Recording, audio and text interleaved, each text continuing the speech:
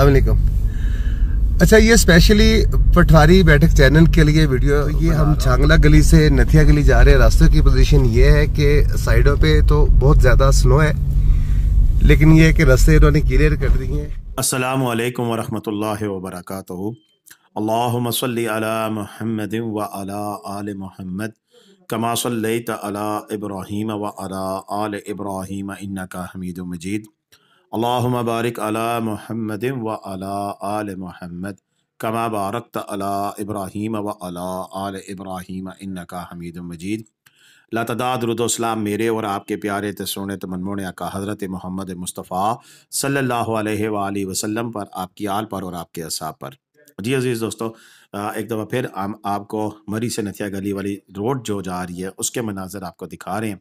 और ये मनाजर मेरे बहुत ही काबिल साद एहतराम उस्ताद हैं और शुब तालीम से वाबस्ता हैं, सोहेल साहब जिनका ताल्लुक लाहौर से है।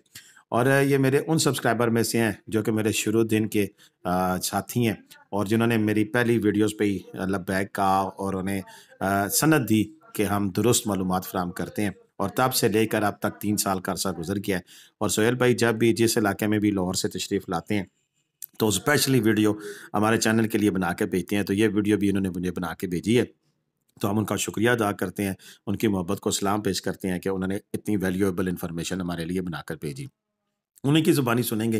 प्लस हमारे साथ एक और क्लिप भी है। जब वो क्लिप आएगा तो फिर हम इंशाल्लाह उस क्लिप के बारे में बताएँगे कि हमें किसने भेजा है। और उनकी भी जो काविश है उसको सलाम पेश करते हैं। और दोनों चीज़ें मिलाकर साथ साथ ये भी बात करते हैं कि गगान डेवलपमेंट अथॉरिटी ने जो काम किया है वो कैसा है और इस वक्त आप लोगों के लिए क्या सहूलियात यहाँ पर मैसर है। तो सबसे पहले सुहेल भाई की बात सुनेंगे, लेकिन उससे पहले जिन दोस्तों ने हमारा यूट्यूब चैनल सब्सक्राइब नहीं किया हुआ बर मेहरबानी चैनल सब्सक्राइब कर लें और घंटी का बटन दबाकर आल नोटिफिकेशन का बटन बटन भी ऑन कर लें, ताकि हमारी हर आने वाली वीडियो का मैसेज आपको मिले और आप इन्हीं मैसेजेस की रोशनी में फिर अपना टूर प्लान करें। और साथ साथ एक और चीज़ भी कहता चलूँगा कि ना सिर्फ़ हम मरी नथिया गली, बल्कि सवात कलाम कुमराट चित्राल और कैलाश वगैरह समेत कश्मीर, मरी नथिया गली सभी जगह की हम इंफॉर्मेशन देते हैं। लिहाजा हमारा चैनल कितना अच्छा काम करता है, नहीं इसके बारे में ज़रूर अदा कर, राय दें। और फिर असलकम देखता हूँ कि आज मेरे सलाम का जवाब कौन देगा। अच्छा ये स्पेशली पटवारी बैठक चैनल के लिए वीडियो बना रहा हूँ। इस वक्त आज डेट है फोर्थ ऑफ़ मार्च है और दिन का टाइम है तीन मार्च है चार मार्च है? ओके फोर्थ ऑफ़ मार्च है और दिन का टाइम है एक बज के पैंतीस मिनट। तो ये हम छांगला गली से नथिया गली जा रहे हैं। रास्ते की पोजीशन ये है कि साइडों पे तो बहुत ज़्यादा स्नो है, लेकिन ये है कि रास्ते इन्होंने क्लियर कर दिए हैं।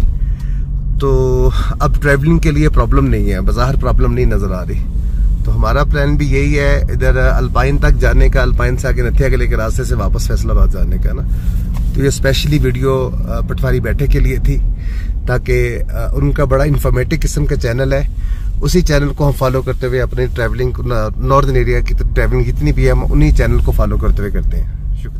जी दोस्तों, आपने सोहेल भाई की बातें सुनी और अब ये जो क्लिप है हम आपको दिखा रहे हैं, ये सरदार साजिद साहब ने हमें भेजा है, जो कि स्नो क्लियरेंस के इंचार्ज हैं और इन्होंने अपनी साइड पे जहाँ पर बर्फ़ हटाई है, उसकी ये क्लिपिंग आपको दिखा रहे हैं कि देख सकते हैं कि आपको रोड से बर्फ़ बिल्कुल साइड पर है और जहाँ जहाँ ये ग्लेशियर गिरे हैं, वहाँ वहाँ पर आपको साइडों पर ढेर सारी और नॉर्मल रूटीन में अगर आप देखें तो एक से डेढ़ फुट साइडों पर बर्फ़ पड़ी हुई आपको मिल रही है और कहीं कहीं जगह जगह पर ये छोटे मोटे पत्थर आ जाते हैं।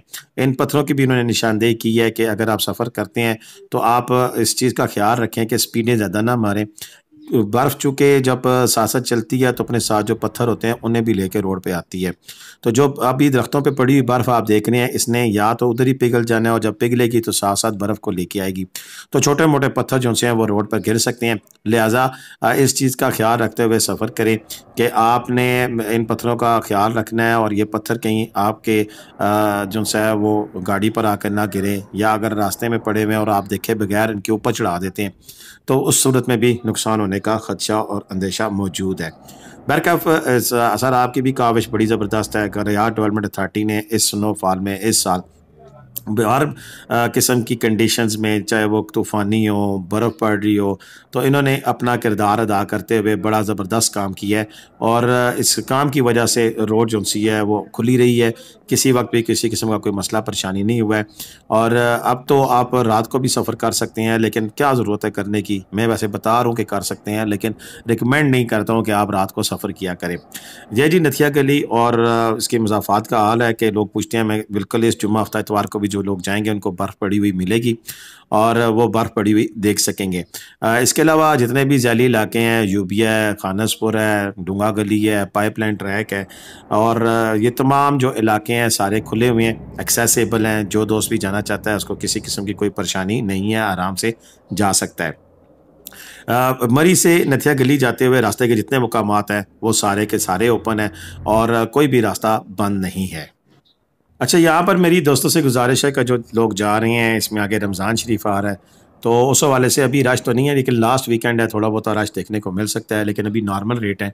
लेकिन ठंड का आंसर बहुत ज़्यादा है, रात को अच्छी खासी ठंड हो जाती है, अब कुछ कम हुई है, लेकिन पिछले दो से तीन दिन तो रात को माइनस एट नाइन तक भी नथिया गली में टेम्परेचर जाता रहे।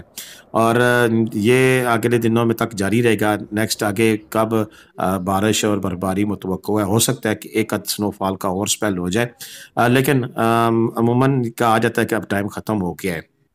तो बिल्कुल जी यहाँ पर अभी तक तो सीज़न चल रहा है और बर्फबारी मुमकिन है कि हो जाए और हो सकता है ना हो, लेकिन ये तो हम आने वाले दिनों में आपको अपडेट्स बताते रहेंगे। फ़िलहाल तो आपको यही बता रहे हैं कि रास्ते सारे खुले हुए हैं और जो दोस्त जाना चाहते हैं मरी नथिया के ली के अंदर किराए भी आजकल मामूल के मुताबिक है। यानी कि तीन चार हज़ार नॉर्मल और अच्छा जो रूम है, वो पाँच से छः हज़ार रेटिंग सिस्टम वाला अवेलेबल है। तो अभी तक के लिए इतना ही था। इन मज़ीद जो आगे अब अपडेट्स आएँगे इन आपके साथ शेयर करते रहेंगे। जो दोस्त भी किसी भी सियाती मकाम पर दौरे पर जाते हैं तो अपनी वीडियोज़ और क्लिपिंग बना के हमें भेजा करें। लैंडस्केप या आप वीडियो बनाने से पहले व्हाट्सएप पे मैसेज करके पूछ लिया करें तो इन हम आपको गाइड कर दिया करेंगे। आज की वीडियो इतनी थी, इजाज़त दें। पाकिस्तान जिंदाबाद, पाकिस्तान पाइंदाबाद। जीते रहे, खुश रहे। बाद अपनी दुआ में याद रखिएगा। अल्लाह हाफिज़।